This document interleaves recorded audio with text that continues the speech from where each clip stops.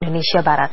Pemirsa pasca kerusuhan di Lembaga Pemasyarakatan Tanjung Gusta dan kaburnya sekitar 200 narapidana, sampai saat ini Kepolisian Polda Sumatera Utara telah menangkap 38 napi.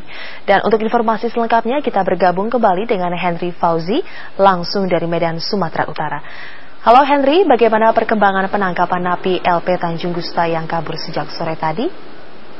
Ya, tim uh, pemadam kebakaran saat ini dan aparat kebersihan yang baru saja berhasil memadamkan api korban api di lapas uh, kelas 1 Tanjung Kusta Medan Sumatera Utara menemukan seorang uh, korban dalam kondisi mengenaskan uh, dengan menderita luka bakar hampir di sekujur tubuh. Dan be begitu langsung ditemukan langsung dilarikan ke rumah sakit uh, terdekat yang berada di Jalan Binakasi di Jalan Sunggal Medan. Api yang membakar sebagian gedung lembaga permasyarakatan kini sudah padam sekitar pukul 2 dini hari tadi. Petugas menemukan seorang korban tergeletak di antara puing-puing sisa kebakaran dalam kondisi kritis.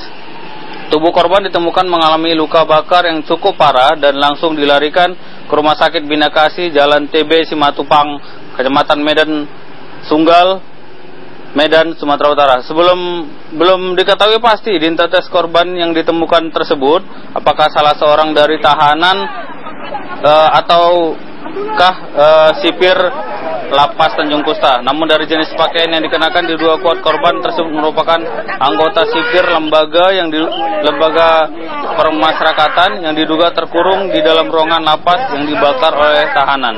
Saat ini petugas kepolisian masih melakukan negosiasi dengan perwakilan penghuni lapas meminta melalui pengeras suara yang mereka minta dari beberapa dari beberapa tuntutan atas uh, aksi demonstrasi yang sampai sekarang masih uh, dilakukan oleh beberapa uh, perwakilan dari narapidana yaitu tentang revisi revisi uh, peninjau uh, revisi PP 99 tentang remisi dan pembatalan bebas bersyarat bagi para narapidana. Para narapidana meminta langsung kepada Menteri Hukum dan HAM Wamenkumhan maksud kami untuk merevisi PP tersebut karena menghapus beberapa harapan para napi untuk bebas bersyarat.